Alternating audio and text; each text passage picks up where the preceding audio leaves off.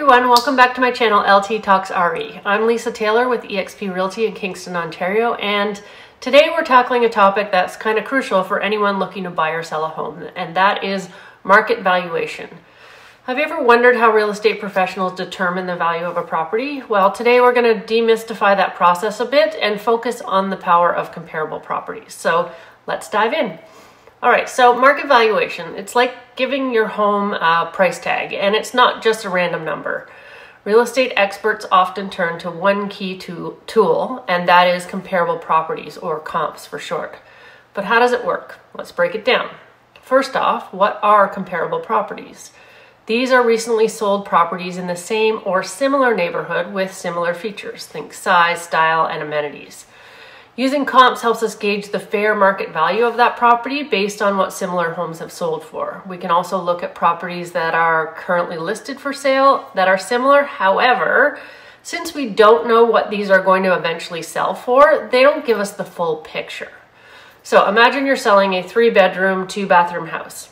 To determine its value, we would look at other three bedroom, two bathroom homes that have recently sold in the area. It's kind of like creating a real estate family tree. Now the key here is recently sold. Markets can change, and what a similar house sold for a year ago or even three months ago in some cases might not be the same as today. So we focus on the most recent transactions to capture the current pulse of the market. But how do we choose the right comps? It's like kind of like matchmaking for homes. We consider factors such as location, neighborhood, schools in the area, square footage, the number of bedrooms and bathrooms, and any unique features that impact value. The more similar, the better. Think of it like assembling a team of real estate doppelgangers, homes that closely resemble yours and in the game of property value. So here's where it gets a bit like fine tuning. Not every home is an exact copy, right? Well, thank goodness.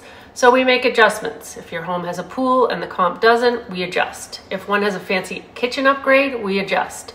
These adjustments help us to fine tune the valuation for your unique property.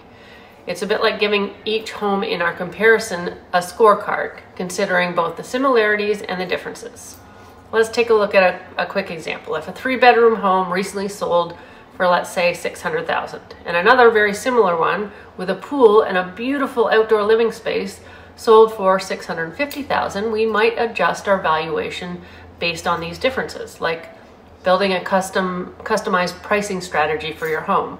Or if one home offers all the same features square footage and neighborhood but one has been updated and one has the original owners and the original shag carpeting these are all factors to consider.